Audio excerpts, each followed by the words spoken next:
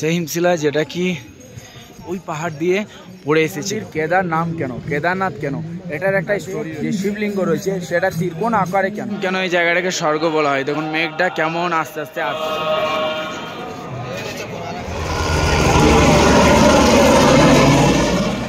হর হর মহাদেব বন্ধুরা good morning. এখন রয়েছে আমি শ্রী কেদারে হ্যাঁ?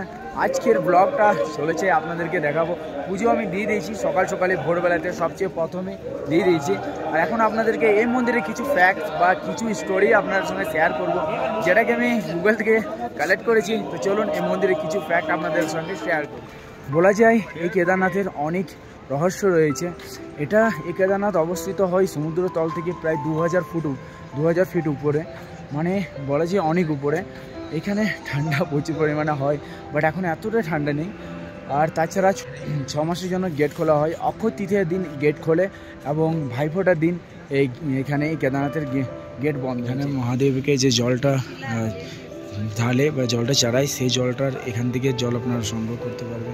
এই হচ্ছে কুণ্ড জলকুণ্ড মন্দিরের পিছনে অনেক কিছু দেখার জিনিস আছে। এ হচ্ছে সেই ভীমশিলা। সেই হিমশিলা যেটা কি বন্যার সময় দু হাজার তেরোতে ওই পাহাড় দিয়ে পড়ে এসেছিল। পড়ে এসে পড়ে এইখানে, এই মন্দিরের পিছনে এটা থেমে যায় এবং এটা থামার ফলে জল যে আসে, পাথর, বালি আরও জল প্রচুর পরিমাণে পড়ে এবং এত বড় একটা পাথর এসে এই মন্দিরের পিছনে দাঁড়িয়ে যায় এবং জল দুই ভাগে ভাগ হয়ে যায়, এক সাইডে আর এই সাইডে দু সাইডে লেফট রাইট দু সাইডে ভাগ হয়ে যায়।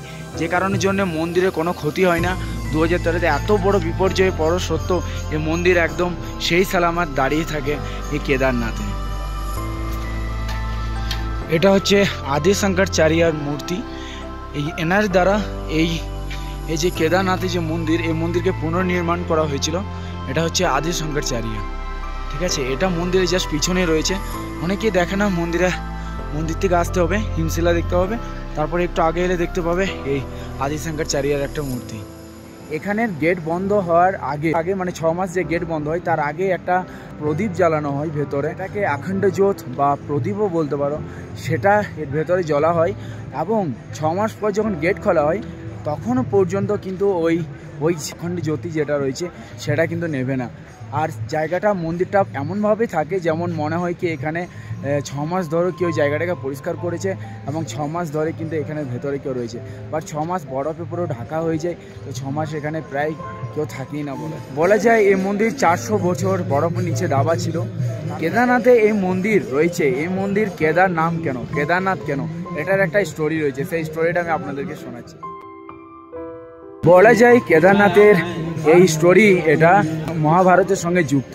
যখন মহাভারত হয়েছিল সেই মহাভারতের সময় পাণ্ডবরা যে লড়াইয়ের মধ্যে মানে লড়াই হয়েছিল, তখন লড়াইয়ের মধ্যে যে পাপ হয়েছিল, সে পাপ ধোয়ার জন্য তারা কাশী যাত্রাতে বেরিয়েছিল এবং তারা ঘুরতে ঘুরতে চলে আসে উত্তরাখণ্ডে।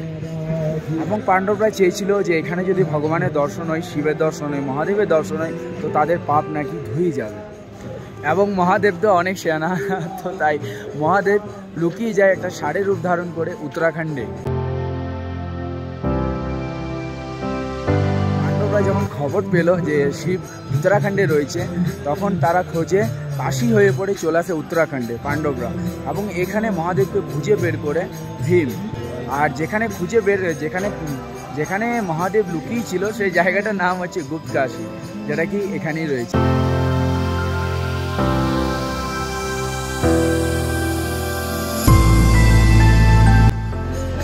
এইখানে এই কেদারনাথে যে শিবলিঙ্গ রয়েছে, সেটা ত্রিকোণ আকারে কেন? এটা অনেকেরই প্রশ্ন যে ত্রিকোণ আকারে কেন এখানে শিবলিঙ্গ? তার একটা তার একটা স্টোরি রয়েছে। তার স্টোরি এটাই রয়েছে যে মহাদেব যখন এখানে লুকিয়ে দিয়েছিল গুটকাশিতে তখন তার লেজ এবং তার যে পিঠ, সেটা শুধু দেখতে পাওয়া যাচ্ছিল।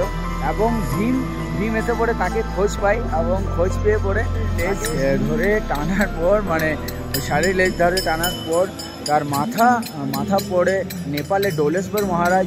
তার যে পীঠ সে সেটা শিবলিঙ্গ হিসেবে পাহাড়ের দুভাগ হয়ে যায় এবং দুভাগের নাম হয় নর এবং নারায়ণ। জন্য কেদারনাথের শিবলিঙ্গ সেটা ত্রিকোণ আকারে।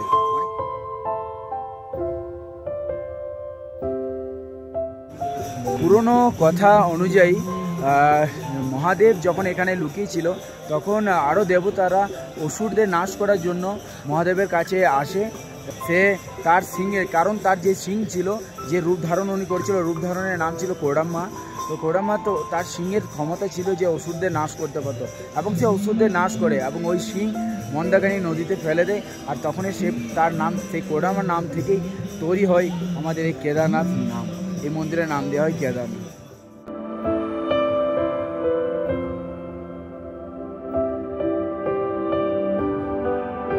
কেদারনাথ মন্দির এবং কেদারনাথ মন্দির থেকে কিছুটা দূরে ওই যে পাহাড়ে দেখতে পাচ্ছেন ওই পাহাড়ে যে একটা মন্দির দেখাচ্ছে ওই যে ছোটো মতো একটা মন্দির দেখাচ্ছে। ওই মন্দিরটা যে দেখাচ্ছে সেই মন্দিরটা হচ্ছে ভৈরনাথের মন্দির।